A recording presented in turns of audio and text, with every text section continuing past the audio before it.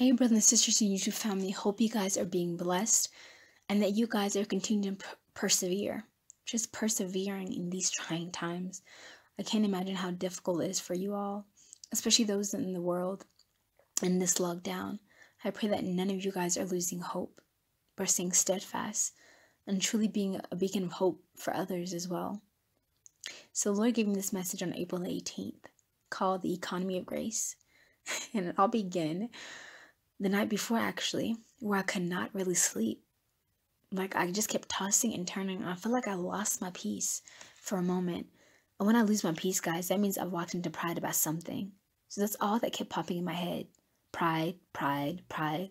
I was like, oh, Lord, please help me if pride is rising up within me.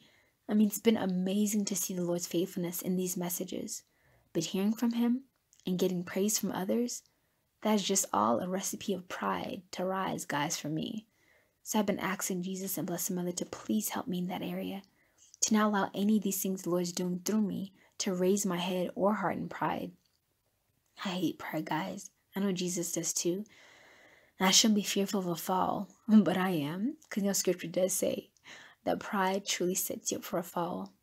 And it's funny, guys, because in the beginning of my walk, I ran after the approval of men. I really wanted people to see the Lord working through me. I thought that was my source of identity. But the Lord really crushed that very quickly. He allowed no one to recognize the gifts or really approve of me.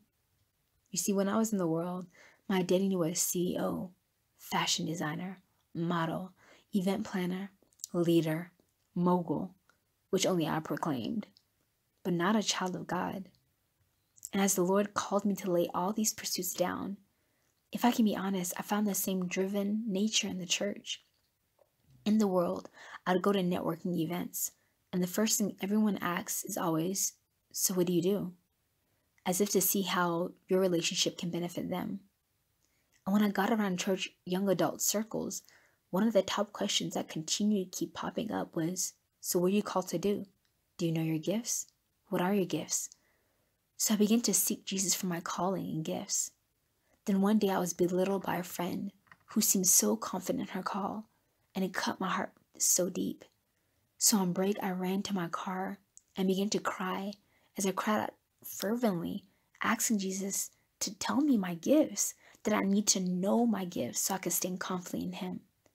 Then Jesus finally spoke these words in my heart as I was crying, and He said, If you don't know my ways and they're not embedded in your heart, how else are you able to walk in your calling? I was dumbfounded, guys, and so grateful for those words that gave me so much peace, but challenged me, which caused me to begin seeking Jesus for who he was and not what he had called me to do. He gave me the same words again coming here on this mountain through rhema card. As I walk with Jesus, I found that when you unite yourself to him, when his presence becomes your sole pursuit, then truly you have all the spiritual blessings, as Paul says in Ephesians 1 through 1 3. Praise be to God, the Father of our Lord Jesus Christ, who has blessed us in the heavenly realms with every spiritual blessing in Christ. So I had to find my identity in the Lord. I'm so grateful for that. Furthermore, for the past year, He's had me hidden, tucked away in His heart in the wilderness, where I've been enjoying His very real presence and love where I was stripped of everything and everyone and seeking no one or nothing else but Jesus. I eventually came to love the hidden life, as he calls it, all things hidden only for his eyes. So when he started giving these messages and sharing about the mission he had for me, guys, I cried and I cried and trembled in fear because I've come to not really want to be visible or known or anything for that matter. And it was until he gave me the rhema right following me crying in tears from the book called Jesus CEO. And Holy Spirit just anointed it to me, so I just felt led in to pick it up. And I opened up the chapter, and the title said, Jesus was visible. And I went on to say he always stood out in the crowd. And I was like, wow, Lord. So it gave me profound peace that he was calling me to this, not me pursuing it. For some of us, he has called us to a hidden life truly a hidden life as the duty of our state. That is for many mothers, wives, children, and husbands whose lives are in the background, but they have great virtue before the eyes of the Lord. Their lives are sweet aroma, sacrifice to the Lord.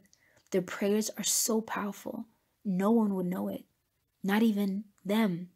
Many times they don't know, but all of heaven knows. And there are other souls who he places in the hidden life for some time, which he does with most of us who are called by him, so that our foundation is on him, his love alone, his validation alone, and his will alone. Once we mature in that, He can then entrust us with a visible life because we've cultivated a deep, real deep relationship with Him in that secret place during our hidden life. Jesus lived a life of obscurity for 30 years, guys, and only three years of ministry. So if you think about it, God allowed His Son to be perfected for that long until His ministry, then how much more us? And guys, I love this scripture because giving me such a sound foundation on suffering and on obedience and that Jesus had to go through it. And it says in Hebrew 5 8, it says, Although he was a son, he learned obedience by things he suffered. Wow. Even Jesus, being God, made himself no equality to God, that he so humbled himself to be able to learn, to be able to be taught. Jesus had a teachable spirit because he was taught by the Father here on earth that he may be used by him in such a powerful way. So he emptied himself to be taught by the Father. We sometimes forget that Jesus was man, fully man, guys. He was God, but he was fully man. And he did nothing on his own besides what the Father spoke, according to the Father's will. And all the power that flowed through him was through the Father. So it's important that we too humble ourselves and be empty of self, that God may use us as he pleases. Truly, there's no reason to be jealous of me because I am what I am by God's grace. Truly, it's all Him, every bit of it. Guys, I have so many weaknesses. And as I was thinking of all these things, it came to me on my bed this morning, or I should say, say Jesus brought it to my mind. Because, guys, I woke up and just a laundry list of my weaknesses were playing in my mind. And let me tell you how much of a hot mess I was. So, as all these weaknesses were coming to my mind, halfway through, I want to stop it and I stopped myself thinking, huh, I don't need to share this. Maybe that's not a weakness. I'm not that bad. And I could just hear Holy Spirit say, keep going. And I was like, oh man, Lord.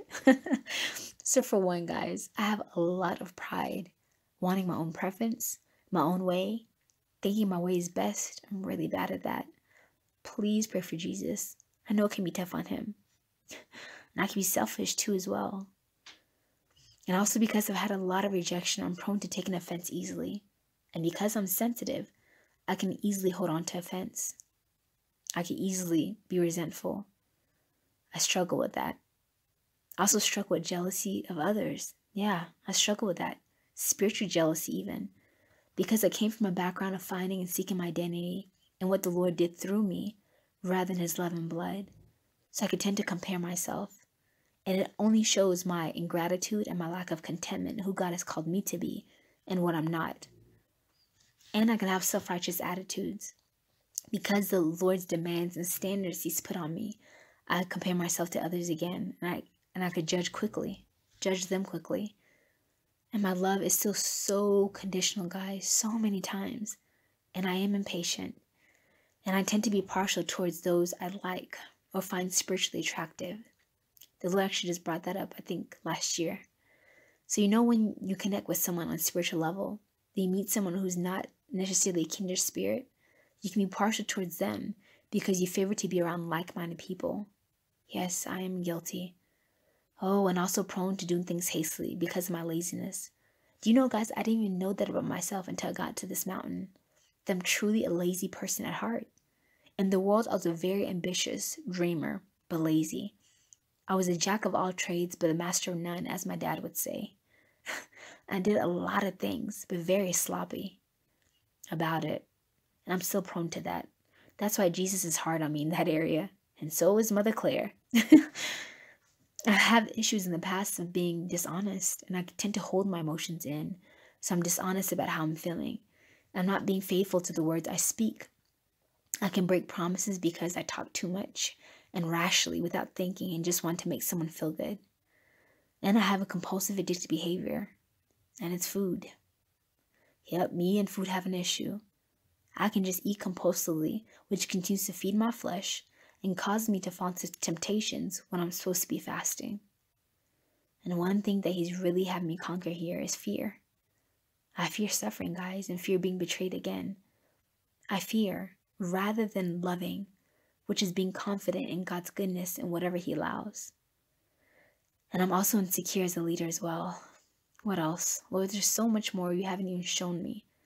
I'm telling you guys, I have so many weaknesses. In short, I'm a hot mess. So, any good you see in me, I mean, any, is Jesus. It's all His grace. At this point, I just said, Lord, do you have anything else to add? And He responded, My beloved, I am pleased with your openness and transparency. That is many times one of the greatest weaknesses of leaders. Many wear masks with those they shepherd, as if they have it all together, and cause many to stumble without knowing it. Many souls compare themselves with those that lead them. And other times, when a leader falls, the facade of perfection is cracked and scandalizes those that follow them. My dear ones, that's why Paul admonished many to boast in their weaknesses, because it is in your weakness that I, I am made perfect in you. Here he's quoting 2 Corinthians 12 as Jesus continues, Not just by my strength, but every virtue, every divine nature is given to you. When you boast in your weaknesses and know who you are, truly standing before me. You see, the economy of grace is simply emptiness of self, emptiness of all your worth in anything else than me. The more you are weak, the more you draw my strength to you. Do you understand that, my dear ones? This world has taught you complete opposite, you must have it together, that I help those who help themselves. May I tell you that is men's wisdom? I love weak, little, humble souls. I am drawn to weakness, my dear beloved brides. If you truly understood that, then many would put off their weights that so burden them and proclaim their weaknesses to the rooftops so that I may run to their aid. It is the humble that graces are given to. To the prideful I resist, because in the pride you need nothing. You have everything. You can do all things, right? No, you'll fall time and time again. These lessons must be had in my people, because it is through the crushing and the pressing that you realize who you truly are and your need for me.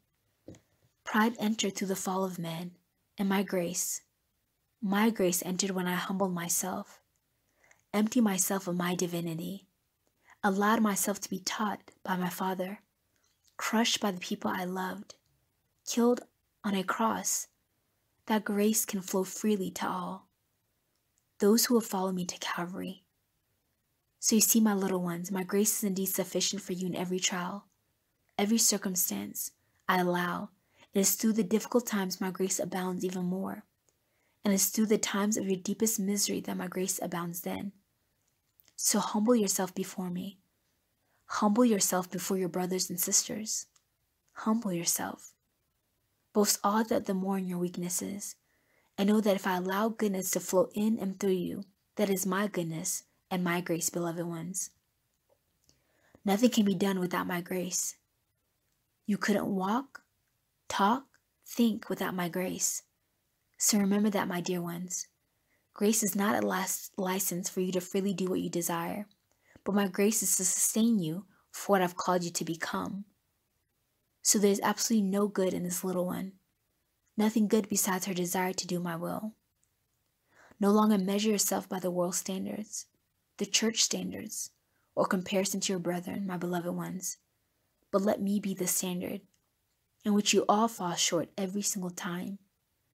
So come now my empty and humble ones, for my grace will abound for you even now. And that was the end of Jesus' message. So I pray that you guys are blessed and encouraged by this message to share your weaknesses. I challenge you, those who listen to this, on the comments, maybe be brave for a moment. Be brave and share your weaknesses that others may be encouraged as well. Father, I just thank you so much for these words. May your word go forth and not return void. Oh Lord, Please break this stubborn pride within all of us. Help us to see ourselves as we truly are before you. And help us to love who we truly are before you and who we're not. Lord, help us to praise you and others. And help us, Lord, for the grace to be little, nothings, nobodies, and be okay with that, Jesus. And help us also too to trust you, Lord, when you do call us out to be visible. Not trusting in our ability, but trusting that you have called it and you will sustain us, Lord, in these call. And I pray right now, Lord God, that you'd give us the grace to be honest and open about our weaknesses. I pray that you'd truly build your church, your people that will be like minded in heart, loving one another, bearing with each other patiently, and open enough, Lord, to take off the mask that we so wear. And truly just be honest with one another and be honest with you, Lord. Help us to be okay with our weaknesses and truly seek you for aid and for help, Lord, in all that we do, Lord. In Jesus' name we pray. Amen. God bless you guys until the next message.